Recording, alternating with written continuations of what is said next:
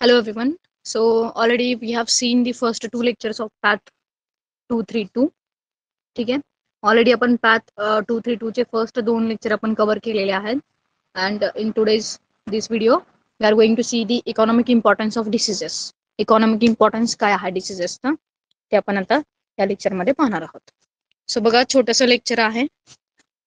ठीक आहे? Economic importance of diseases third lecture so पहा. Lecture number three economic importance of disease plant diseases so economic importance काय आहे पहा यांचं? सो काय किती लॉस करतात वगैरे सगळं आपल्याला याच्यामध्ये पाहायचं आहे about thirty four percent of the crop produce is lost annually due to diseases insect pest and weeds on global basis. According to Kramer, in 1967, about thirty four percent of crop produce. म्हणजे जेवढं crop production होतंय त्यापैकी चौतीस टक्के crop production जे आहे ते loss होतंय ते वेस्ट जाते डिसिजेस इन्सेक्ट पेस्ट आणि वीडमुळं.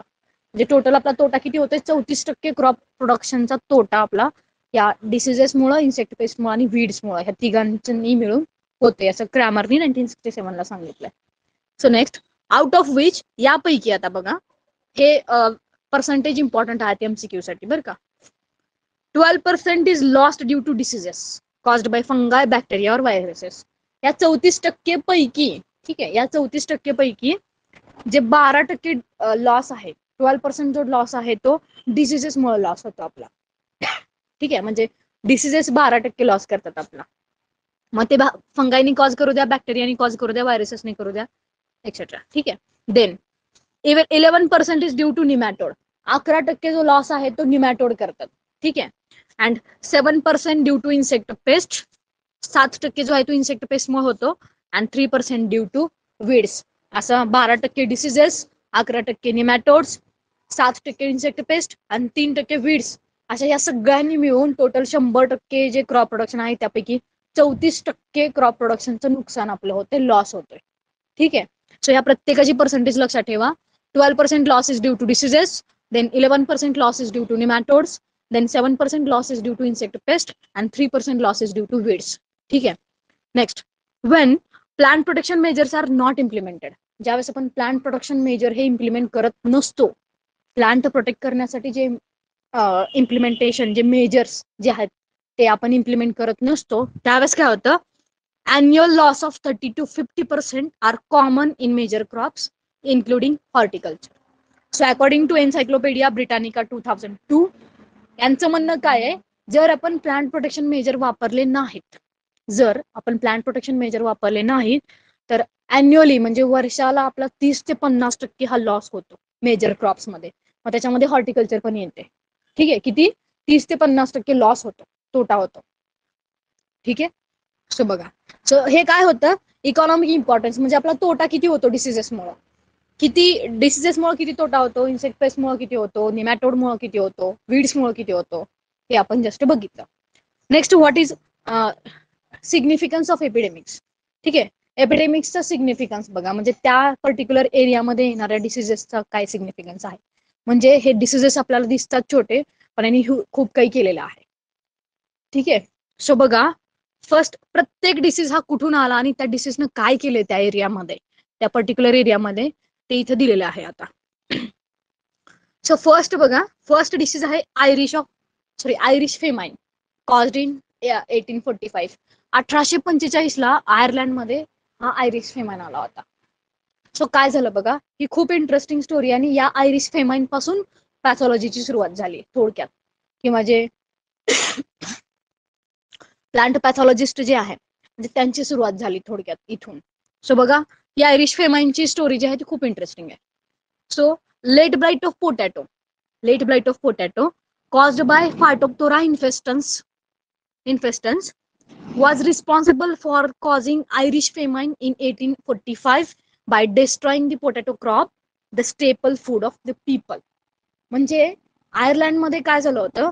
आयर्लंड हा जो एरिया आहे तिथं सगळे लोक पोटॅटो हा स्टेपल फूड म्हणून घेत होते. सगळे सगळे लोक जे आहेत ते काय करत होते? पोटॅटोचं कल्टिवेशन करत होते. आणि म्हणजे काय? तिथले सगळे लोक हे पोटॅटोवरती डिपेंड होते. त्यांच्या फूडची जी रिक्वायरमेंट होती त्याच्यासाठी ते या पोटॅटोवरती डिपेंड होते. ठीक आहे आयर्लंडमध्ये so what is famine famine म्हणजे काय? भूकमरी. मराठीमध्ये आपण काय म्हणतो? भूकमरी. सो आयरिश मीन्स आयर्लंडमध्ये झालेली भूकमरी म्हणजे आयरिश फेमाईन ठीक आहे. सो ही स्टोरी बघा. तर तिथे काय झालं?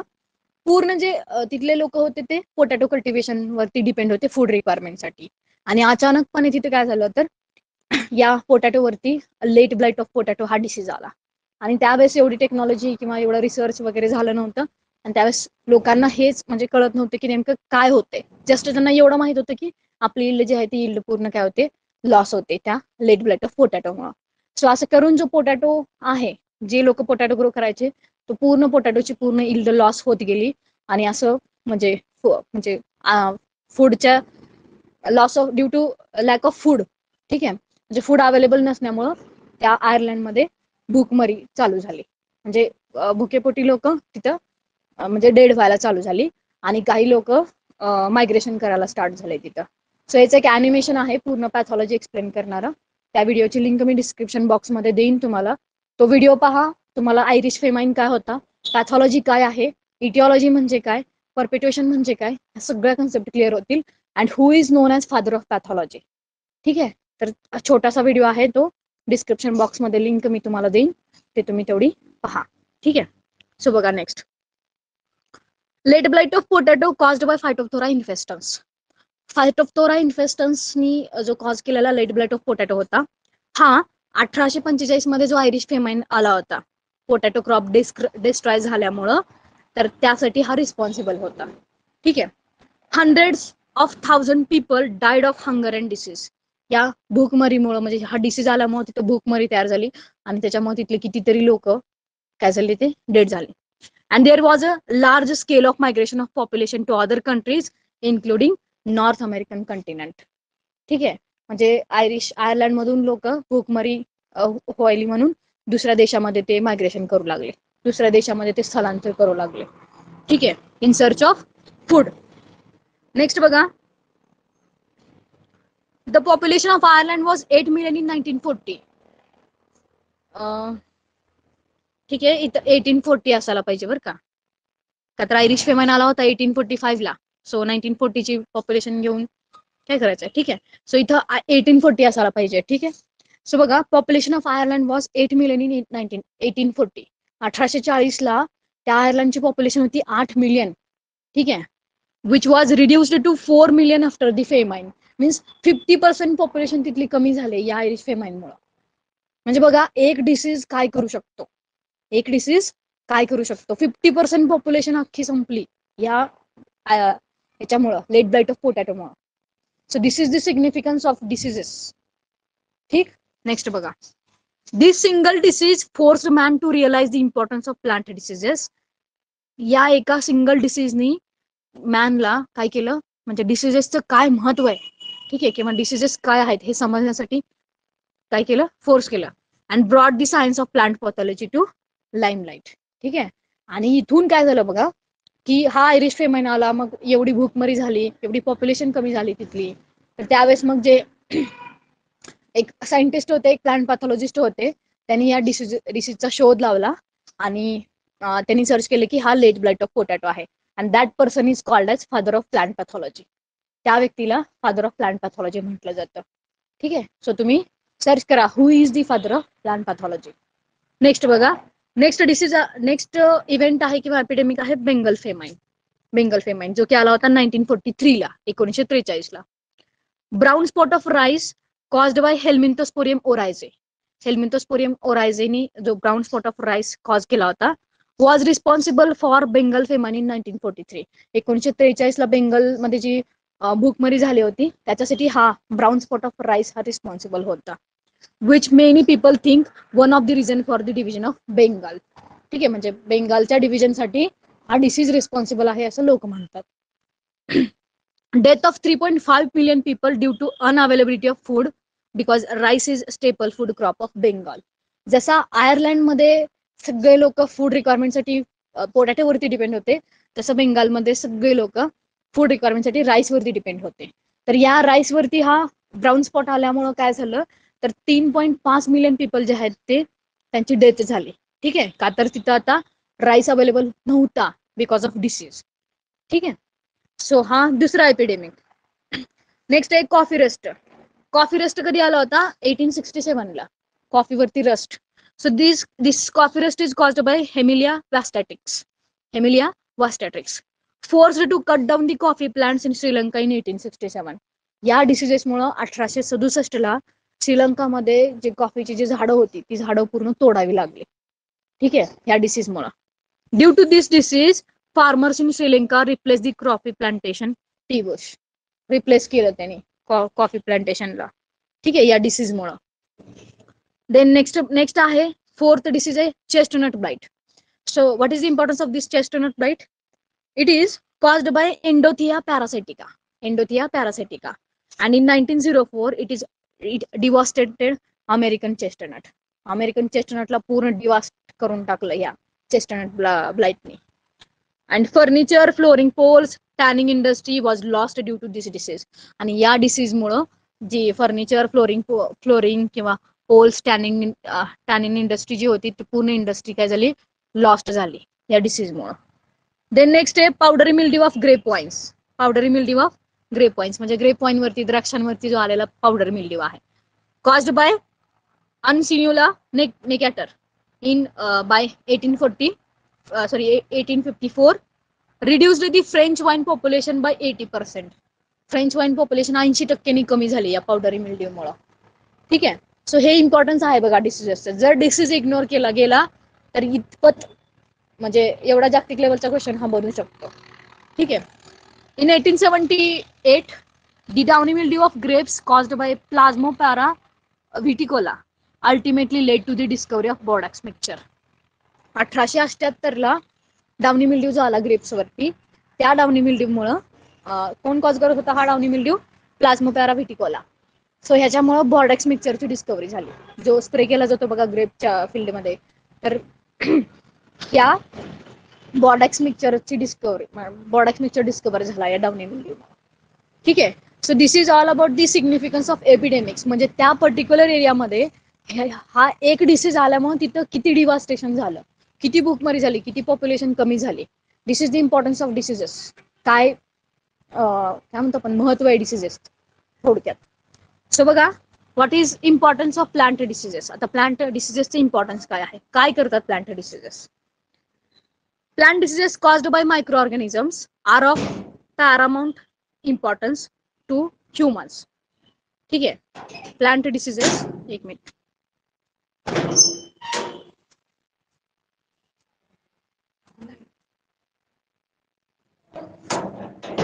importance of plant diseases so बघा plant diseases caused by microorganisms microorganism जे प्लांट डिसिजेस कॉज करतात are of paramount importance to humans ह्युमन्सला का ते इम्पॉर्टंट आहेत बघा? Because they damage plants and plant products on which human depend for food clothing furniture and housing हे plant डिसिजेसला का ignore करू शकत नाही आपण? बिकॉज हे प्लांट डिसिजेस जे मायक्रो ऑर्गॅनिझम कॉज करतात ते ह्युमनसाठी का इम्पॉर्टंट आहेत किंवा का आपण त्यांना इग्नोर करू शकत नाही? बिकॉज ते प्लांट आणि प्लांटचे जे प्रोडक्ट आहेत ज्यांच्यावरती आपण अन्न वस्त्र निवारा ह्याच्यासाठी ह्यावर म्हणजे ह्याच्यासाठी डिपेंड आहोत. असे प्लांट आणि प्लांट प्रोडक्ट जर हे डिसिजेस खराब करत असतील तर ते ह्युमन इम्पॉर्टन्सची म्हणजे ह्युमन तिथं इम्पॉर्टन्स देणार. ठीक आहे? म्हणजे प्लांट डिसीज ते कंट्रोल केले पाहिजेत. नेक्स्ट बघा. Millions of peoples all over the world म्हणजे ऑल ओव्हर वर्ल्डमध्ये जे मिलियन्स ऑफ पीपल लाखो लोक जे आहेत still depend on their own plant produce for their survival अजून सुद्धा त्यांच्या सर्व्हायवलसाठी ते त्या प्लांटवरती डिपेंड आहेत.